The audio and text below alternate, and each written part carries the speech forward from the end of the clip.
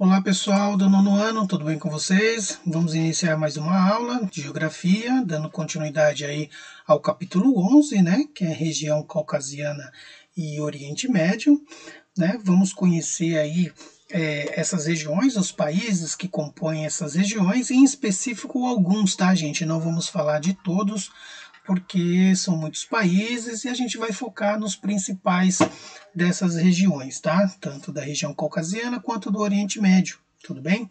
E focar nas questões que envolvem os conflitos, né, na região. Mas, primeiramente, vamos aí entender é, onde que está situada a região caucasiana, né? Então, como vocês podem ver aqui no mapa, a região né, caucasiana, ou região do Cáucaso, ela está entre os dois mares, né, o Mar Negro aqui à esquerda, o Mar Cáspio à direita, e os países correspondentes à região do Cáucaso são esses aqui, né, Caucasiana do Norte, Geórgia, Osetia do Sul, Abcásia, Azerbaijão, Armênia, né? Então esses aí compõem os principais regiões é, dessa região. E uma região que passou aí é, por muitos conflitos, né, gente?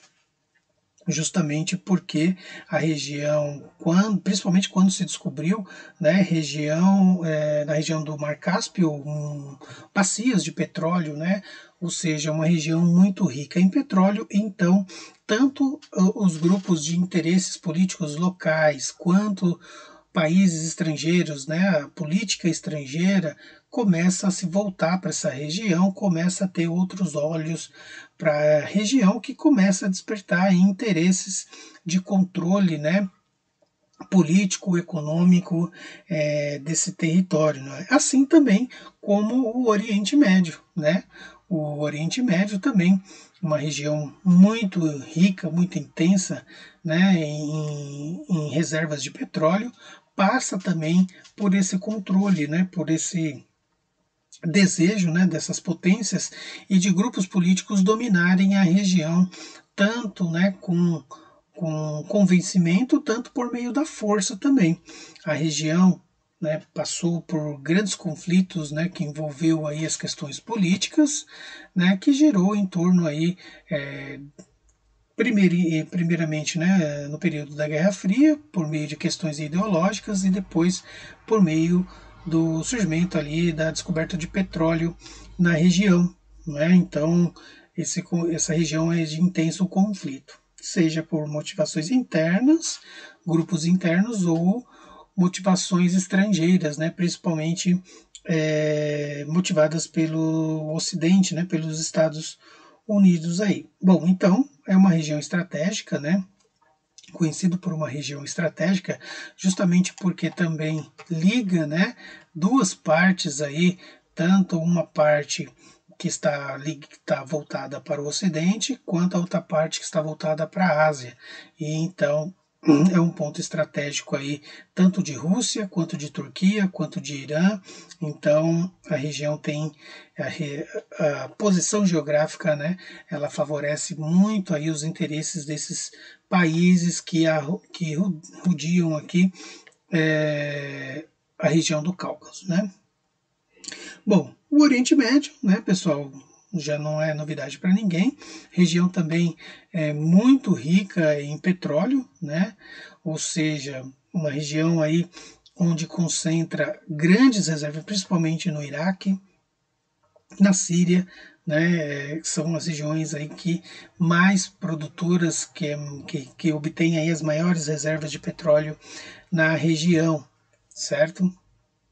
Então, o Oriente Médio, devido a essa questão do petróleo, também é uma região de muitos conflitos, né, de conflitos intensos que existiram né, nessa região. E ainda existe, principalmente na, na Síria, né, a guerra na Síria que ainda existe, que começou hum, no início aí de 2011, né, com um movimento conhecido como a Primavera Árabe, que houve uma repercussão aí internacional justamente porque a população se rebelou contra os governos locais, né?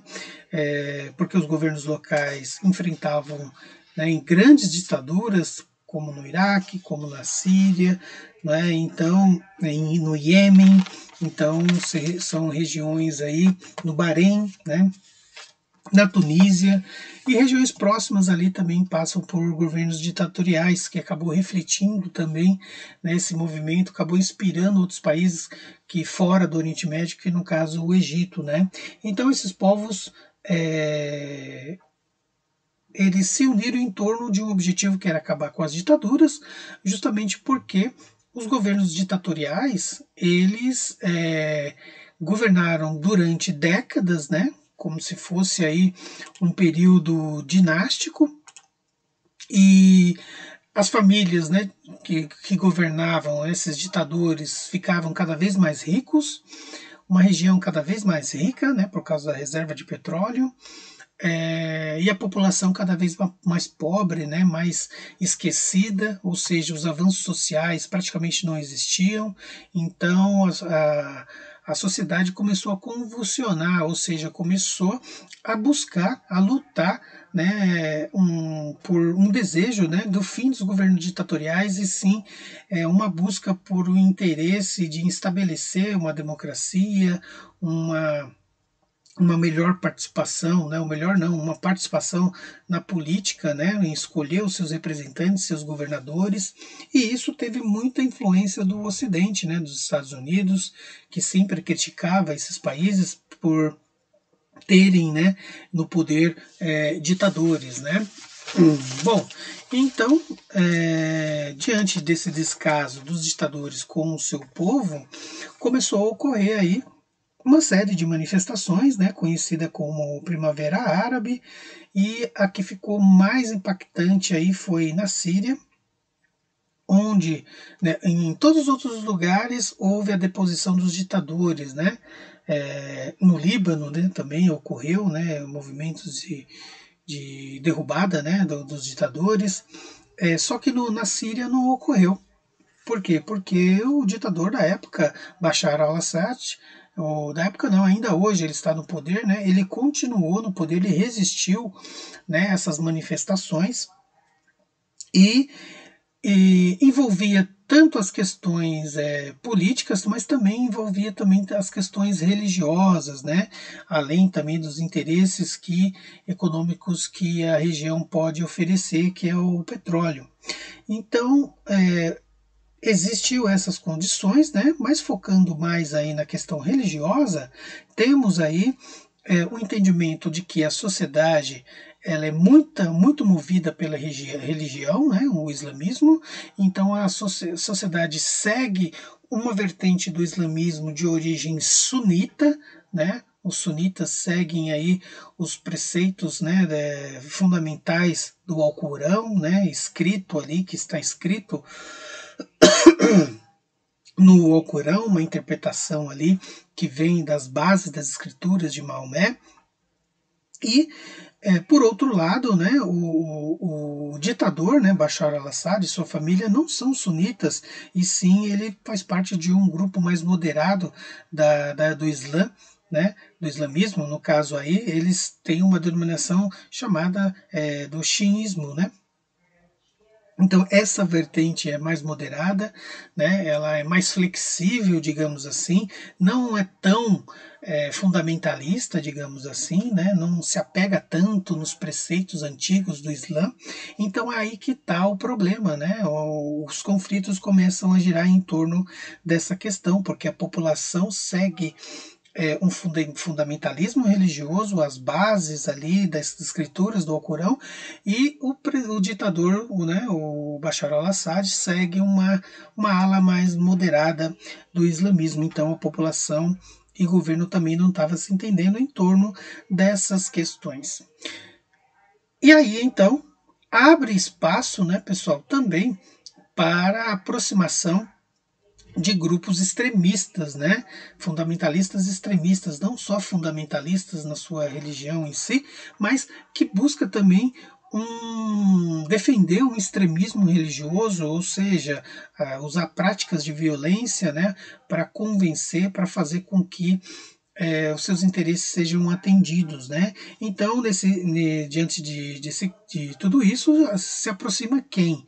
Né, do conflito da Síria, desses fundamentalistas sunitas é, islâmicos na Síria? O Estado Islâmico, né, que é um grupo também de vertente sunita, só que eles pregam fundamentalismo extremista, né, religioso da, é, é, do Islã, né?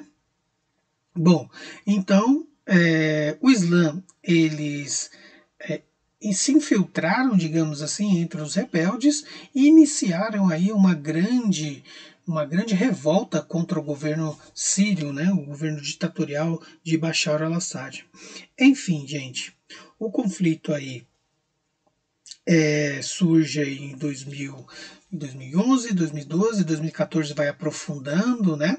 E o, chegando até os dias de hoje, estima-se aí que o saldo né, desse conflito aí estima-se em 400 mil mortes, né, de sírios, 5 milhões e 700 mil refugiados, né, saíram, pediram é, exílio em outros países, né, 13 milhões ainda permanecem no país, 13 milhões de pessoas convivendo ali nas mais precárias situações, né?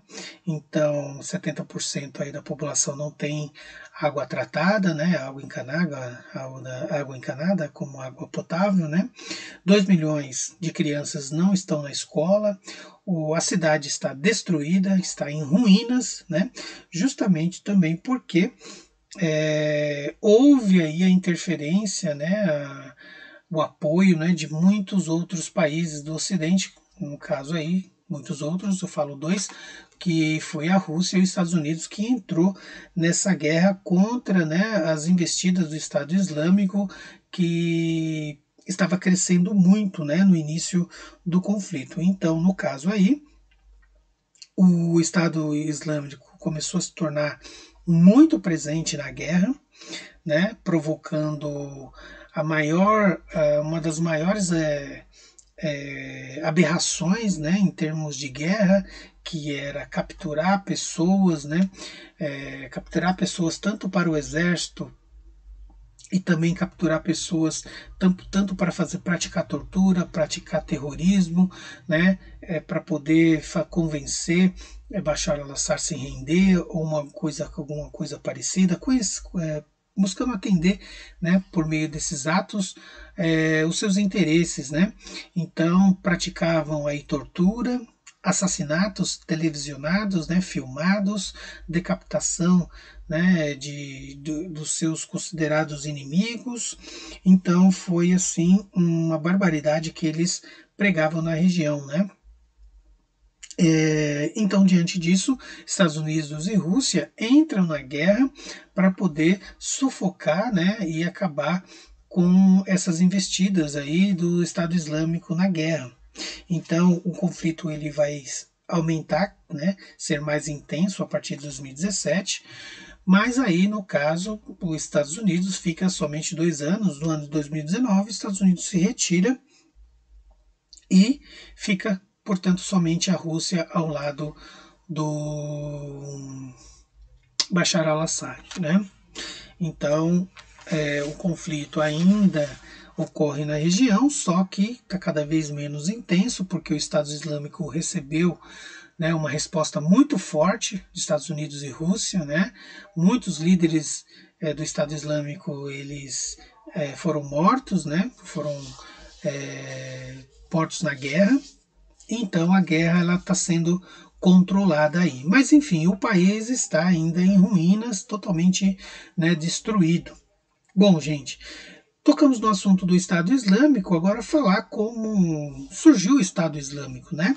O Estado Islâmico ele vai surgir né, mais ou menos aí no período de 2011, 2012, com é, a morte, né, do Saddam Hussein, né? O Estado Islâmico surge na, no Iraque, né? Grupos rebeldes, né? É, que vão tentar com a morte de, de de Saddam Hussein, eles vão tentar né, tomar o poder, tomar conta das reservas petrolíferas, né?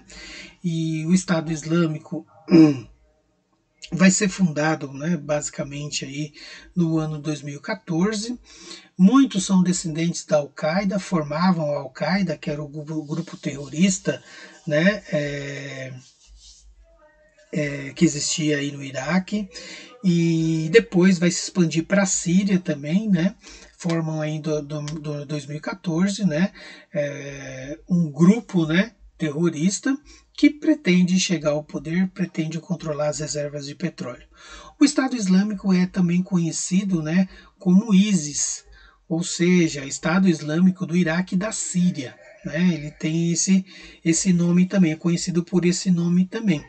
E tem uma vertente religiosa também, que é o islamismo, que segue os preceitos né, sunitas, né, os preceitos fundamentalistas do, islam, do islamismo, só que eles são fundamentalistas é, extremistas, né? ou seja, eles praticam de violência para conseguir o que querem. Né?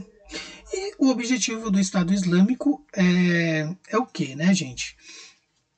Com a queda do, do, ditador Saddam Hussein, eles pretendem formar um califado. E também, no caso, como o Estado Islâmico tem uma, uma, uma origem também síria, né, uma ramificação na Síria, eles querem unir esses dois territórios em torno de um califado. Né? Então, o que, que é um califado? É um líder religioso, né, que controla a religião e também controla a política, né? Então ele vai governar, né, dentro de, um, de uma política é, administrativa, né, do país e também vai controlar a religião em torno do seu entendimento do que é a religião, ou seja, baseado no extremismo, no fundamentalismo rigoroso da religião e sem uma moderação, sem uma tendência a, pra, a seguir né, uma vertente que moderada ou uma, uma, uma vertente que pende para a cultura ocidental, né? então eles querem seguir um modelo fundamentalista extremado, né? baseado ali na dominação, na doutrinação do seu povo a seguir. Quem seguir, bem, ok. Quem não seguir, vai ser punido por isso. Então é isso que ele faz, né? tanto no Iraque quanto na Síria, é, por meio dessas táticas né? que eles pre pretendem é, controlar a região, controlar os dois países. Hum, no Iraque né, foi muito forte isso, na Síria tentou se fazer também, mas Bashar al-Assad, com o apoio da Rússia, né, principalmente da Rússia, que está mais agora junto com Bashar al-Assad, o Estado Islâmico deu uma recuada que eles perderam muitos seguidores, né? Muitos líderes aí perderam, é, se perderam nessa guerra e foram mortos na guerra, certo? Bom, gente, então é isso, ficamos por aqui, né? Então com esse com essa aula encerramos o capítulo 11. E aí, então, vamos depois é, fazer a atividade, né? Lá vou passar para vocês lá no, no Vindimo, né? Quero que vocês façam aí as anotações de vocês, né? É, registrem no caderno. É, dúvidas, registrem também, que aí depois no chat corrigiremos as atividades, as questões e também tiramos as dúvidas. Tudo bem? Então é isso, pessoal. Até mais. Tudo de bom. Tchau, tchau.